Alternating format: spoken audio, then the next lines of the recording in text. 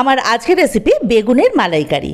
সম্পূর্ণ নিরামিষ এই রান্নাটা ভাত, রুটি, লুচি, পরোটা সব কিছুর সাথে দুর্দান্ত লাগে।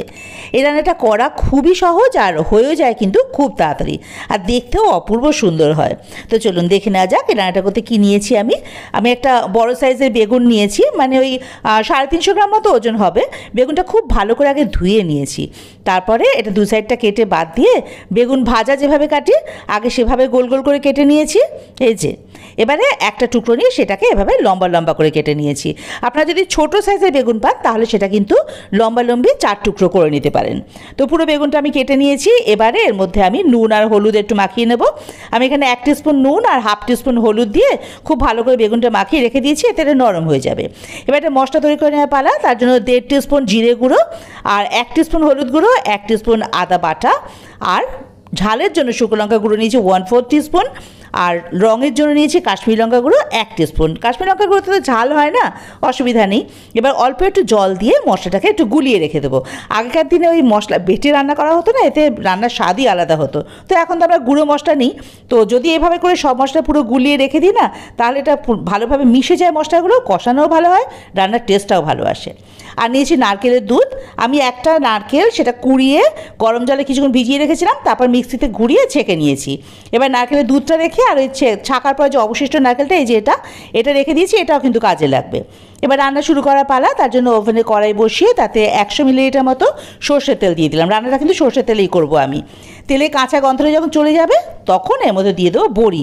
আমি পাঁচ ছটা বড়ি একটু লাল করে ভেজে নেব। বড়িগুলো ভাজা হয়ে গেছে, এবার অন্য একটা পাত্রে এটা তুলে রেখে দেবো। এই যে, এবার বাকি যে তেলটা, ওই তেলে ওই বেগুনগুলো নুন হলুদ মাখিয়ে রেখে দিয়েছিলাম, সেগুলো দিয়ে দেবো। এগুলো একটু লাল করে ভেজে তুলতে হবে।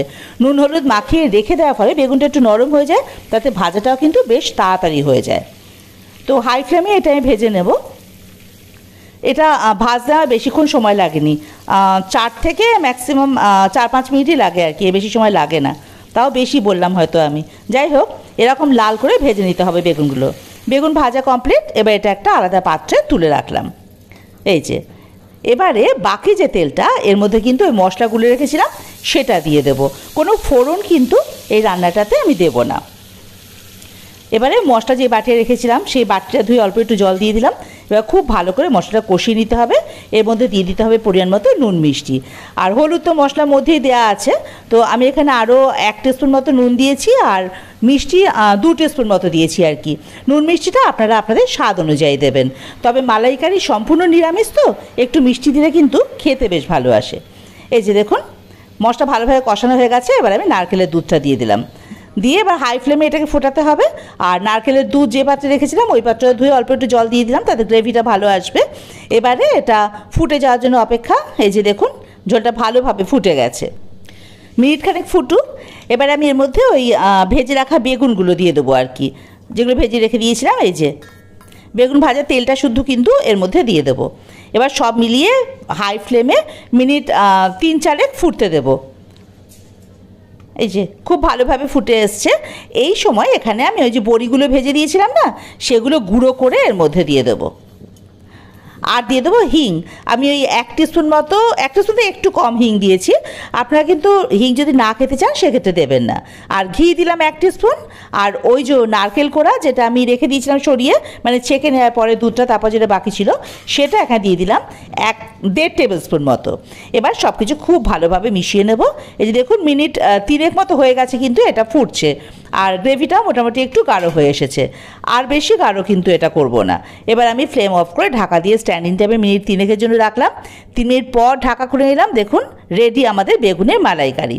দেখেছেন কি সুন্দর দেখতে হয়েছে না? অদ্ভুত হয় খেতে, অপূর্ব। আর এই যে গ্রেভিটা দেখুন, এই যে, খুব ভালো হয় কিন্তু এটা খেতে।